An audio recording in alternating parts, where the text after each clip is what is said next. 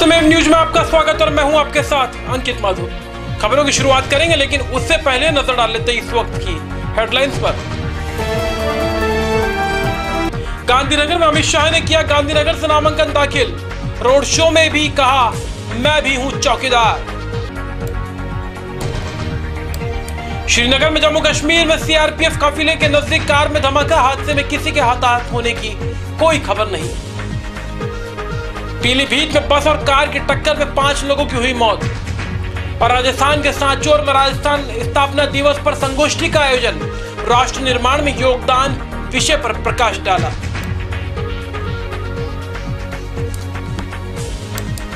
और अब खबरें विस्तार से। गांधीनगर में भाजपा के राष्ट्रीय अध्यक्ष अमित शाह आज लोकसभा चुनाव के लिए गांधीनगर से अपना नामांकन भर दिया है। भाजपा के अमित शाह शनिवार को गांधीनगर लोकसभा सीट से नामांकन दाखिल करने के मौके पर केंद्रीय मंत्री राजनाथ सिंह और नितिन गडकरी, शिवसेना प्रमुख उद्धव ठाकरे, अकाली दल के प्रमुख प्रकाश सिंह बादल और लोजपा के संस्थापक रामविलास पासवान आदि नेता पहुँचे थे। इस अवसर पर भाजपा अध्यक्ष अमित शाह ने कहा कि आज गांधीनगर लोकसभा क्षेत्र से भाजपा के प्रत्याशी के रूप में नामांकन करने जा रहा हूँ। जो आज उन्नीस सौ बयासी के दिन याद आ रहे हैं, जब वे यहाँ के एक छोटे से बूथ का बूथ अध्यक्ष थे। गांधीनगर से लालकृष्ण आडवाणी, अटल बिहारी वाजपेयी सांसद रहे। उनका सौभाग्य है कि भाजपा उन्हें यहीं से सांसद बनाने जा रही है। भाजपा एक विचारधारा की पार्टी है।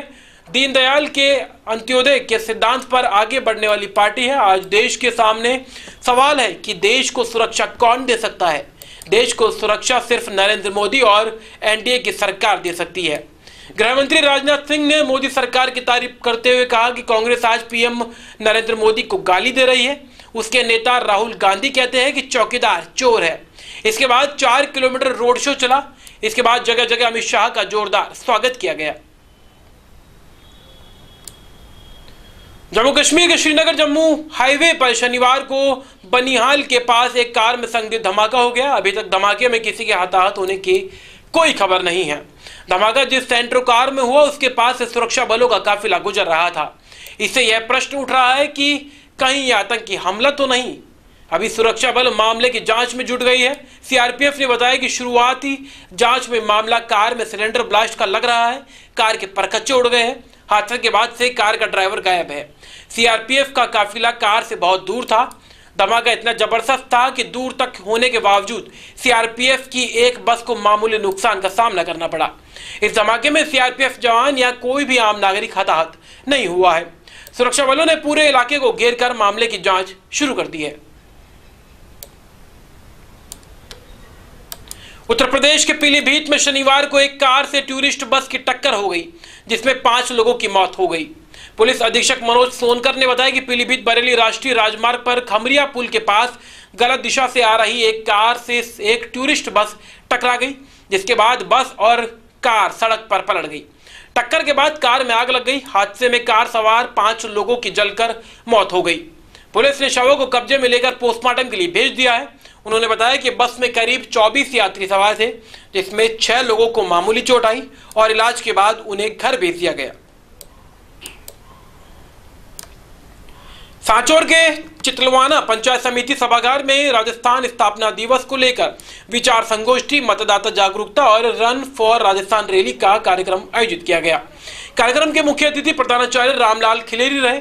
वहीं चितलवाना विकास समिति के संरक्षण विदर सिंह चौहान ने अध्यक्षता और स्वीप प्रभारी लाड़ूराम विश्नोई के विशिष्ट आतिथ्य में कार्यक्रम संपन्न हुआ। रैली पंचायत समिति परिसर में मुख्य बाज़ार आम चौहटे होते हुए पुनः पंचायत समिति परिसर में विसर्जित हुई। रैली में शिक्षा, मतदाता जागरूकता, स्वच्छता संदेश के नारे लगाते हुए आगे बढ़ते रहे। कार्यक्रम को संबोधित करते हुए रामलाल खिलेरी ने राजस्थान की लोक संस्कृति, भौगोलिक संस्कृति और युवाओं का राष्ट्र निर्माण में योगदान का विषय पर प्रकाश डाला। उत्तर प्रदेश के संबंध में लोकसभा चुनावों की घोषणा हो चुकी है। पहले चरण के मतदान के लिए नामांकन प्रक्रिया भी पूरी हो चुकी है। चुनाव आयोग में मतदान प्रतिशत बढ़ाने के लिए विभिन्न तरह के कार्यक्रम आयोजित कर रहा है। इसी बीच 23 अप्रैल को तीसरे चरण में मतदान होने वाले संभल लोकसभा संसदीय क्षेत्र के एक गाँव से ग्रामीणों के द्वारा मतदान के बहिष्कार करने का मामला सामने आया है। आपको यहाँ बता दें कि जनपद संभल की चंदोसी विधानसभा क्षेत्र में स्थित गाँव ढाढ़ोल में ग्रामीणों ने आरोप लगाया है कि उनके गाँव की मुख्य सड़क, जो कि गाँव को हाईवे से जोड़ती है, उस पर दो दो फुट गहरे गड्ढे हैं, जिससे रात के समय बाइक से गाँव वालों के साथ लूट की काफ़ी घटनाएँ घट चुकी है। गाँव में बना स्वास्थ्य केंद्र पर आज तक किसी भी डॉक्टर या नर्स की तैनाती नहीं की गई है, जिसकी वजह से उपकेंद्र आज तक संचालित नहीं हो पाया है।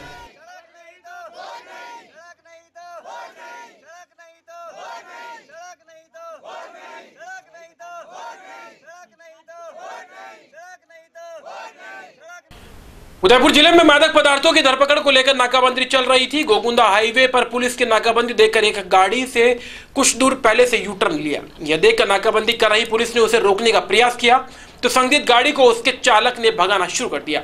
इस पर नाकाबंदी कर पुलिस ने उस गाड़ी का पीछा किया। इस दौरान संदिग्ध गाड़ी के चालक ने पुलिस की गाड़ी को कई बार गलफत में डालने का प्रयास किया। पीछा करती हुई पुलिस की गाड़ी जैसे ही संदिग्ध गाड़ी के बिल्कुल बराबर में पहुँची तो संदिग्ध गाड़ी में बैठे एक व्यक्ति ने पुलिस की गाड़ी पर फायरिंग कर दी। गोली पुलिस गाड़ी के दरवाजे को चीरती हुई कांस्टेबल के पैर में लगी और वह गंभीर रूप से घायल हो गया। फायरिंग करने के बाद भी संदिग्ध गाड़ी का चालक गाड़ी भगाता रहा और पुलिस की गाड़ी ने संदिग्ध गाड़ी का पीछा करना जारी रखा। साथ ही वायरलेस की सूचना दी। इस पर आगे से आगे नाकाबंदी में पुलिस ने संदिग्ध गाड़ी को चारों तरफ़ से घेर कर पकड़ लिया। संदिग्ध गाड़ी में बैठा व्यक्ति रतलाम के साइबर सेल में तैनात एएसआई वीरेंद्र सिंह निकला और उनके साथ व्यक्ति का नाम दीपक अग्रवाल बताया जा रहा है। सिरोही ज़िले का माउंट आबू यूँ तो अपनी हरी भरी वादियों के लिए मशहूर है, लेकिन खेलों के लिए भी यह स्थान अब धीरे धीरे अपनी प्रसिद्धि लेते हुए नज़र आ रहा है।